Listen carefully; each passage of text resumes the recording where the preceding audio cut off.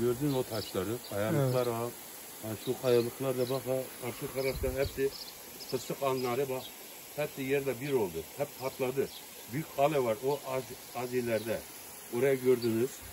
O büyük kayalar nedeniyle yollarımız 2-3 gün kapalıydı. Hiç kimse helikopterle geldiler bir şeyler attılar. Ondan sonra da yol açılınca ufak ufak vatandaş yardımı, devlet yardımı da gelmedi, vatandaş yardımı geldi. Ondan sonra yaşam devam etti yani çadırda. Mahalle buradan kalkması lazım. Bir 96'da burada sel felaketi yaşadık. Sel felaketi. Ama bu dere ağzı bu evler hepsi sel, selle felaketinden e, ölen de oldu.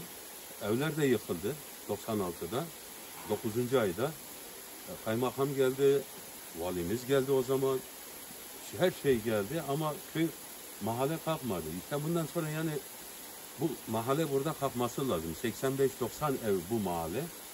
Yaklaşık bir 120 eve dayanıyor bu mahalleyle beraber üsttekiler. Burası kalkması lazım. Buranın yerleşimi iyi değil. Hayatı geçiyor bir de sel bir de sel felaketi. Sel felaketi olduğu için burada yaşam biraz zor. Köy, yakın köy, köy e, Altınüzüm, Kerkük bu bölgelerde pay geçmeyen bir yerden yapılmasını istiyoruz biz. Yaşam sorunu var. E, çocuklar doğru dürüst banyo yapamıyor. Şu anda kendi çabalarımızla e, biz kira istedik, konteli istedik. Daha isteyen kontele gelmedi. E, çadır geldi. Çadırda bir yağmur yağdığı zaman çamur, çocuklar hasta oluyor.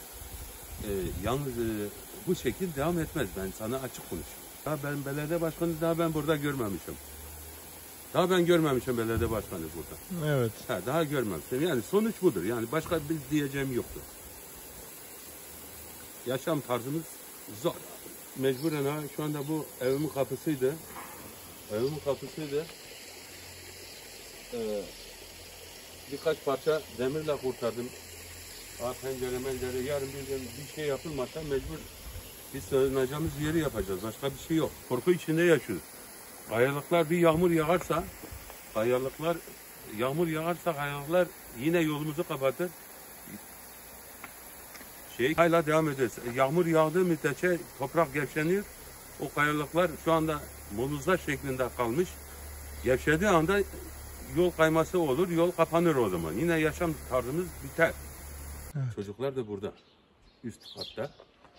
E, sor, işte sorun budur yani. Ha, bu, moluzlar aniden bu üzerime geldi. Yatak odası burasıydı. Buranın içi. Buranın içiydi yatak odası. Bizimki de orasıydı.